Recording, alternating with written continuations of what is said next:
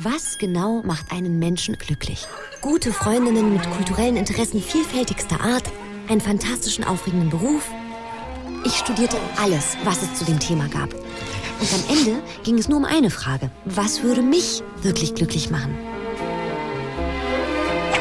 Wie findet man das Glück, wenn das Schicksal eben nicht so günstig ist?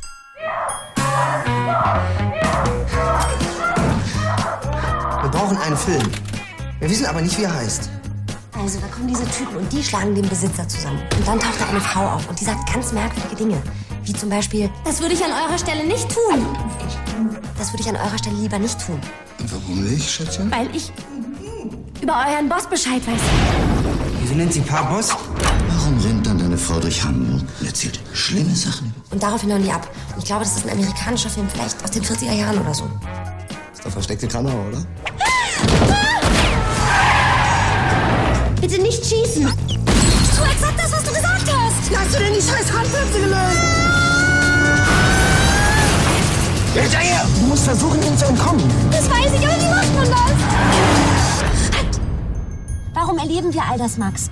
Und warum glaubst du, haben wir uns schon vor zehn Jahren geliebt? Geliebt, geliebt. Hallo? Onkel Hans? Was machst du denn da? Wir wollen dir gerade das Licht ausknipsen. Hey, hey, hey, kein Grund, ruppig zu werden. Das ist schon Glück. Glück ist, wenn einem nichts fehlt. Verschieß die Reifen. Doch nicht unsere! Max, es tut mir so leid, ich wollte dir nur helfen. Waren ihr zwei? Nö.